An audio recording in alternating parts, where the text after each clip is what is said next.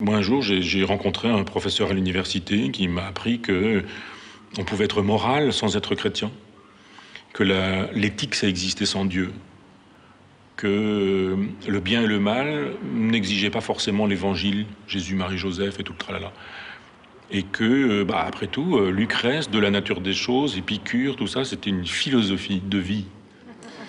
La mort sent une odeur fade. Je sens cette odeur fade.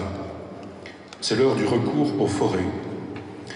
J'ai vécu assez pour en savoir assez.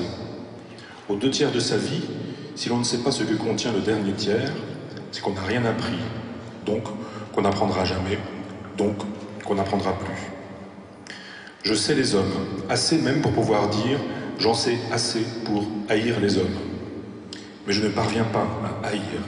Trop d'énergie perdue, trop d'énergie gâchée, pas assez de haine au ventre, pas de haine du tout, même.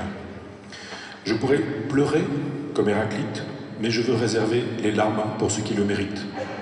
La folie des hommes ne mérite pas qu'on pleure. La mort de ceux qu'on aime, voilà les seules justifications des larmes. Je veux bien plutôt rire comme Démocrite de la folie des hommes, comme lui, rire comme lui, vivre au fond d'une cabane dans un jardin, tourner le dos aux hommes, sans amertume, sans fâcherie, sans colère, sans haine bien sûr, sans acrimonie, sans pile noire. Je veux simplement en finir avec le commerce de la folie, de la sottise, de la bêtise, de la noirceur des hommes, de leur méchanceté.